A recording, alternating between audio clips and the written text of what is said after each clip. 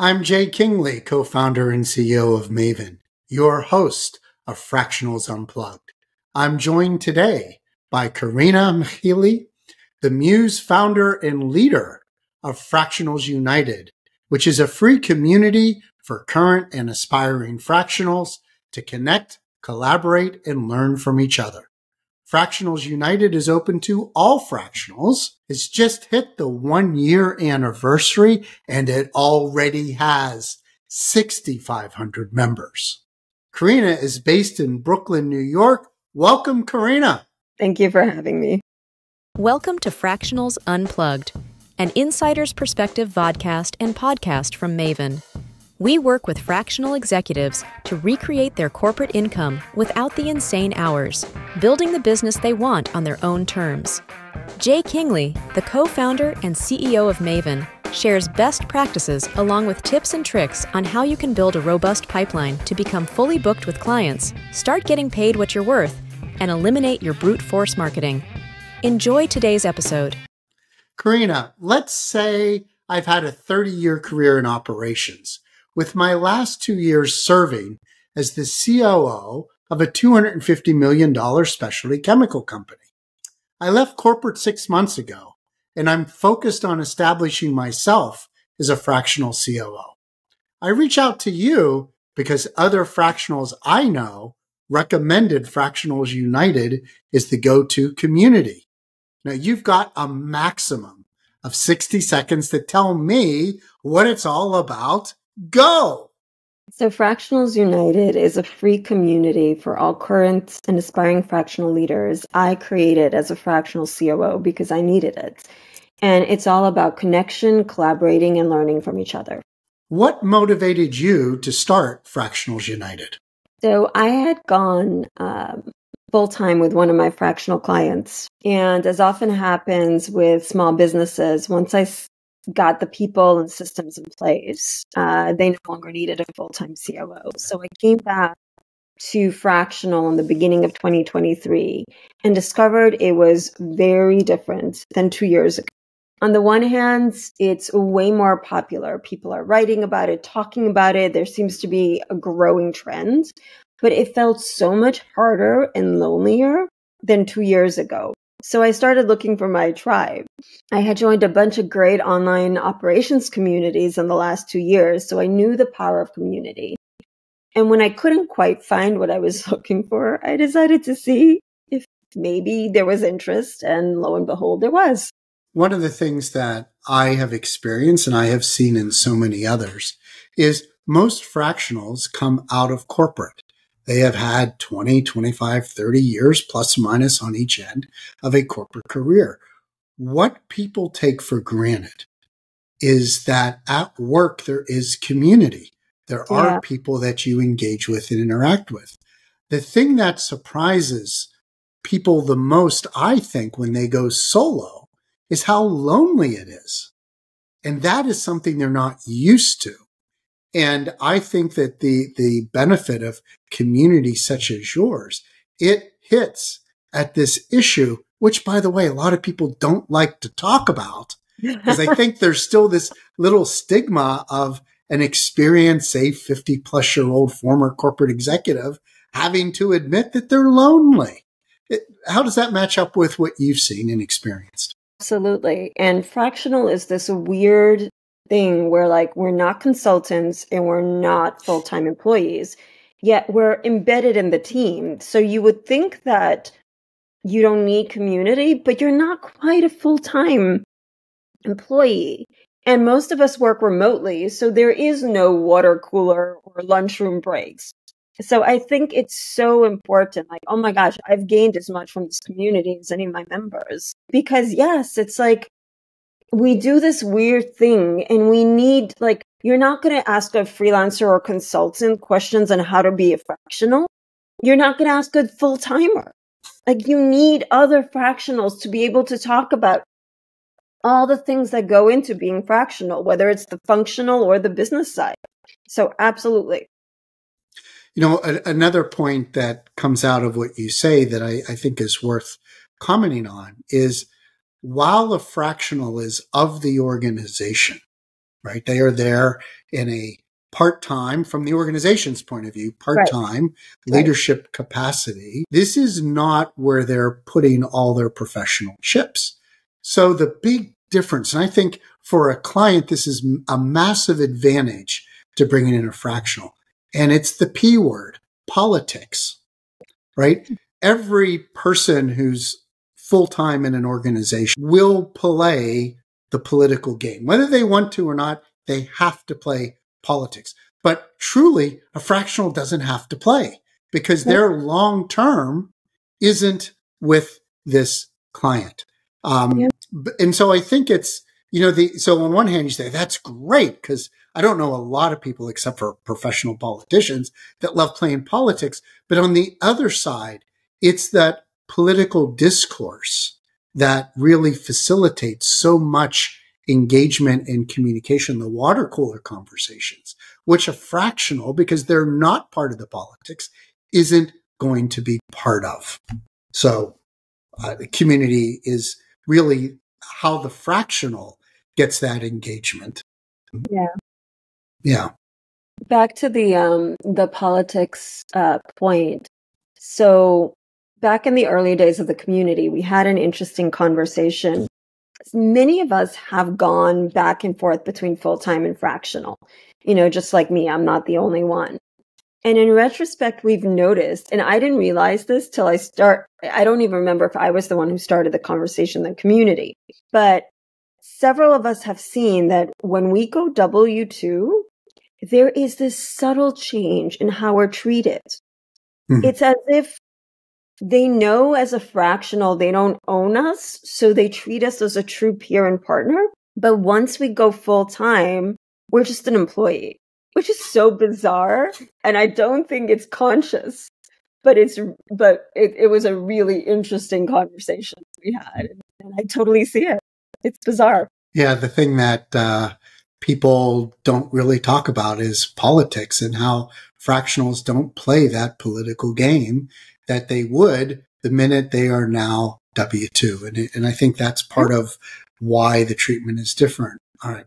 So we've talked about the community. You, you've been dancing around some of the value, but take me through the benefits I would get as a fractional for becoming part of your community. So the main one is a fully supportive and engaged community of fractional leaders uh, across all functions and you know, global. And we have we have several it's in Slack. We have channels for discussions, for resources, for asking for help, for functions, for locations. We have many events, um, both social and educational. Uh, many member hosted lunch and learns, as well as some sponsored events and webinars.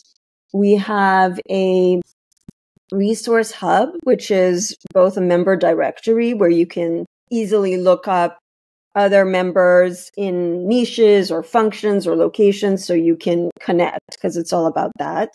Plus other resources. All our events, uh, educational events are recorded so you can go back. And it's, it's a constantly building hub of resources. We also have some partners who offer benefits because we're all 1099, so both in the US and non US if you need benefits. And I'm always, you know, paying attention to what the community needs and, and other ways that, you know, we can provide value. Now, there are a lot of communities out there that fractionals can join. Well, I don't know if there are many that are your size, mm-hmm. at least I've run into. Um, and uh, but clearly there are new ones that pop up seemingly every day. So what makes Fractionals United different from all these other communities that are out? There? A couple of things. First off, we are the largest currently. So if you want to be where a good percentage of the other fractionals already are, then you want to join us. Two, I've committed that it's going to stay free. So you know, I may ask for small recurring donations and we're we're going to monetize other ways, but the community itself is going to be free. And three, I focus on community. I'm willing to like I am partnering with others in the ecosystem, but my primary focus is community and making this the best community for fractionals. Fabulous. Now, given that you engage with so many fractional executives, can you share your perspective on the biggest challenges facing fractionals today? Finding the work. As much as fractional seems to be on the upswing, tiny percentage of the people who could use us know we exist. So it is still so challenging to find the work. And unless you're someone who is naturally inclined to network and you're a people person and you're always doing business development, it's going to be hard.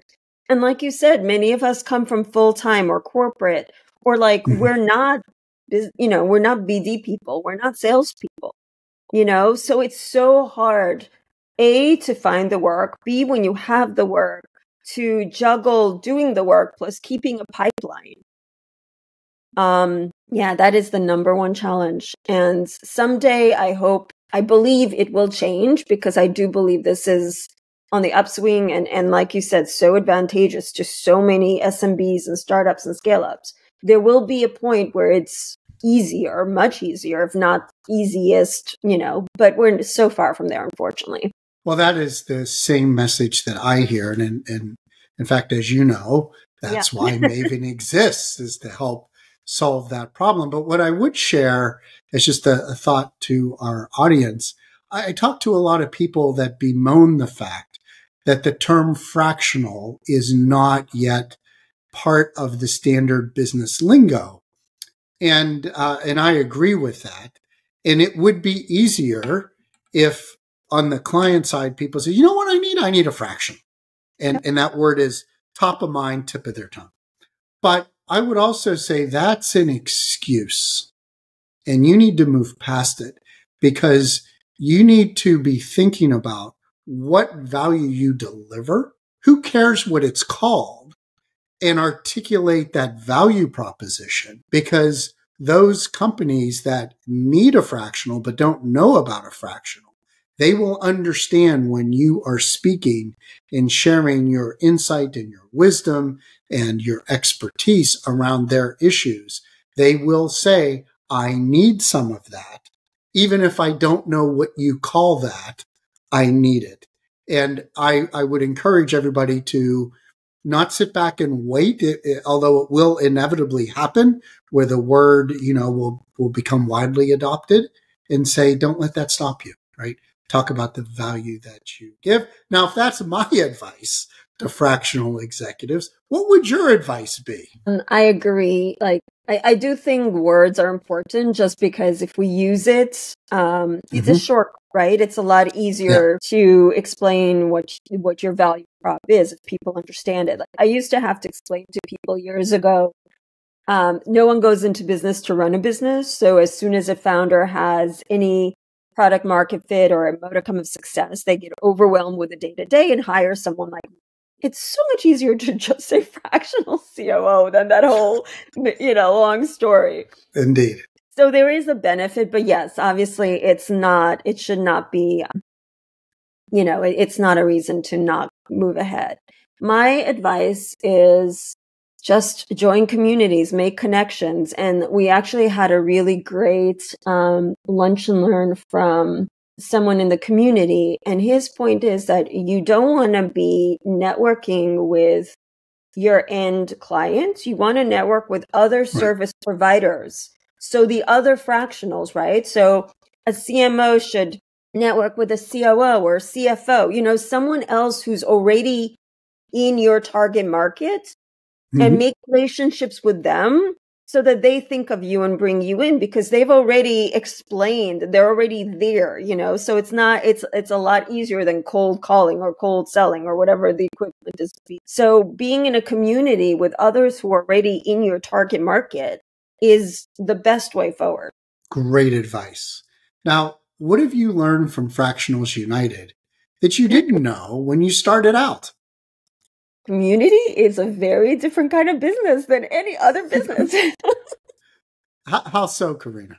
On the one hand, um, I have way more bosses than most people do because you have to pay attention. Like a community is nothing without its members. So there is this fine line between giving members what they want, but also saying no and, and, and figuring out a fine line and how to do it. And like I had been, this is my first time as a founder. Like I'm usually the integrator and COO, not the founder visionary.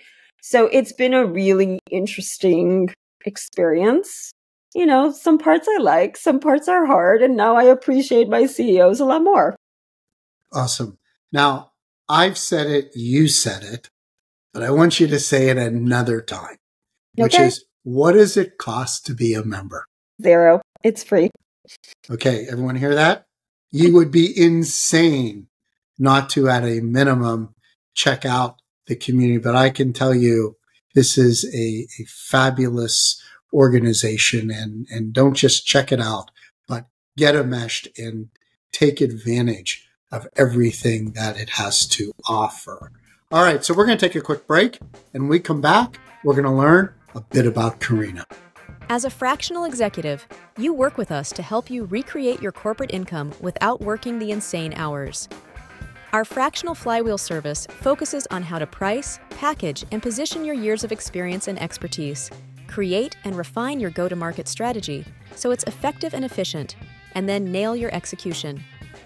Working with us, you will build a robust pipeline to become fully booked, start getting paid what you're worth, and eliminate your brute force marketing. Maven's unique fractional catalyst service for those serving startups and early stage companies gets you acting like a venture capitalist in managing your business and as an entrepreneur when working with your clients. Achieve financial security and reward with clients who want you to take charge, ask for forgiveness, not permission, in an environment without all the politics and bureaucracy you find in corporate. Email j.kingley at referabilitymaven.com to learn more. Welcome back. We're talking to, to Karina Mikhli, the founder and leader of Fractionals United a community for current and aspiring fractionals to connect, collaborate, and learn from each other.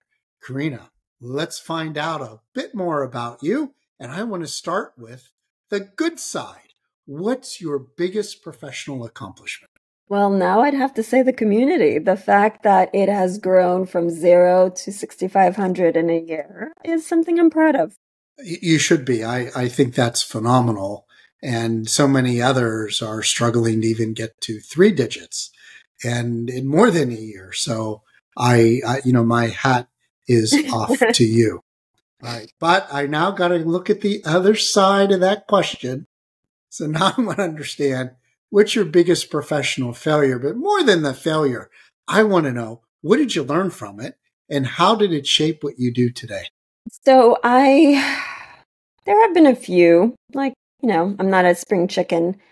I the the most recent one is um it was a a engagement where I thought I had a great relationship with the CEO and it unfortunately changed and I wasn't paying attention. I was too focused on the work and I lost sight of that she had her own agenda and like, you know, concerns and that that was that should always be part of my work right the relationship you can like even if you're doing like we all think as long as you do a good job it speaks for itself but the ceo is so busy in her little you know place that she doesn't always pay attention right? So part of the job i think of every leader you have to keep managing up managing sideways and down. You know you cannot you can never forget that the communication like you need to you need to tell them right? You need to explain you need to check in just as much as like i do that very well with my team but i need to do that as as well with the ceo yeah that that's a brilliant takeaway i mean communication relationship is at yeah. the core of what it is to be human we are social beings we're not solitary beings so yeah. that's a great lesson to pass on so what's next for you and Fractionals United over the coming 12 months? So I'm hoping that 2024 is the year that I figure out how to monetize this and not at the expense of the community. The community is going to stay free. I have a great um, head of partnership, Will, who is helping bring in sponsored sponsors and partners and, and other ways for us to monetize. I will continue to bring in more fractionals, figure out different ways to add value. I'm also part of a conversation, um, actually two different conversations. So one, uh, we had the first ever fractional conference this past year, which was headed up by uh, John Arms and Voyagers U. So Fractionals United will be um, more active in, future conferences. So there's conversations about that and what that partnership looks like. I am also fortunate that I have other um, fractional organization leaders in my community. So we're having a larger conversation about maybe a fractional professional association and lobbying and just spreading awareness together. So that's happening. So just yeah, the the way I see it is like Fractionals United is the community at the center of a larger ecosystem. And I want to focus on community. Even, you know, yes, I'm free, so I have limited resources, so I have to focus. But even if I had unlimited resources, as an operator, I know it's important to focus. So my focus is community and I want to partner with others serving the fractional ecosystem. And I think that's that's my purpose, right? Is to, to provide this community, to provide this hub and then, you know, find the spokes to help fractionals. Just as a, a quick reminder to our audience, a couple of episodes ago, we had John Arms on and he talked a bit about that fractional uh, conference. That's a great interview. I would encourage you to check out. So, Karina, what is the best way for our audience to contact you? LinkedIn. Find me on LinkedIn, just message me and I will respond. And we will put uh, Karina's LinkedIn address into the show notes for both the video and the podcast. So be sure to reach out to her there. Karina, I want to thank you for being a guest on our Fractionals Unplugged show. Be sure to subscribe to both our podcast on all the major platforms and on our YouTube channel for our videos. Until next time, make an impact on your clients and family on your terms, securing your independence with the freedom, flexibility, and control that you've earned.